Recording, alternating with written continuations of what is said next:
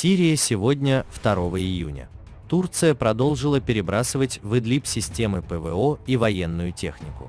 Жены террористов ИГИЛ устроили демонстрацию в лагере беженцев Аль-Хол в Хасаке. Курдские боевики повышают цену на пшеницу. Об этом сообщает военный источник Федерального агентства новостей в Сирии Ахмад Марзук. Коротко об итогах противостояния. Провинция Алеппо. Пользователь Twitter Калаат М сообщает, что в ходе боестолкновений к западу от города Алеппо между проправительственными силами и боевиками сирийской национальной армии погиб боец ливанской организации Хизбалла Мухаммад Махди Мухаммад Шур. Точное место и причина его гибели не называется. На севере провинции жители поселка Тукхартеюм вышли на стихийный митинг против протурецких сил.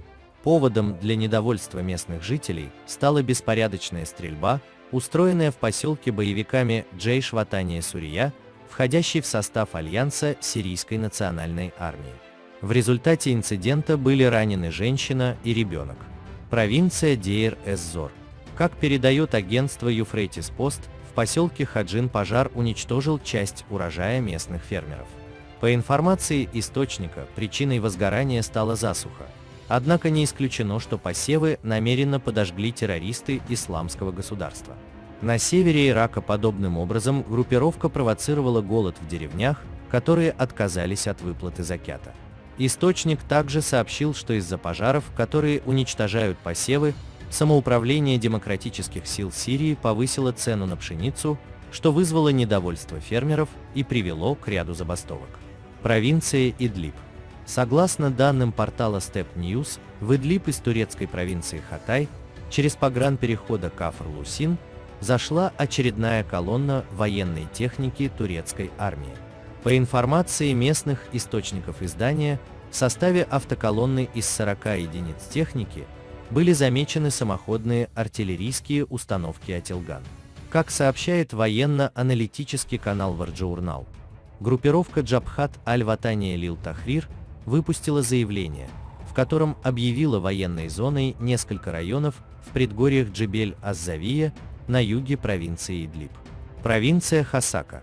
Как передает новостное агентство ANNA News, в лагере беженцев Аль-Хол в очередной раз родственники и жены террористов исламского государства устроили шествие с флагами самопровозглашенного халифата. Колонна жен и вдов ИГИЛ вместе с детьми прошла по пятому сектору лагеря, выкрикивая лозунги в знак поддержки группировки, пока их не разогнала прибывшая охрана. В зоне контроля сирийской национальной армии прогремело два взрыва. Как сообщает портал Алкхабаур-21, взрыв самодельной бомбы в поселке Аль-Манахир убил местного жителя. В деревне Тель-Халав также детонировала самодельная бомба, установленная на мотоцикл. Взрыв убил двух человек, третий был доставлен в госпиталь в критическом состоянии. Ответственность за установку самодельного взрывного устройства пока не взяла на себя ни одна из группировок. Военная полиция Сирийской национальной армии подозревает в установке бомб боевиков из состава демократических сил Сирии. Спасибо за внимание. Ставьте лайк и не забудьте подписаться на канал Твои новости. Здесь всегда вас ждут самые горячие и свежие новости мира.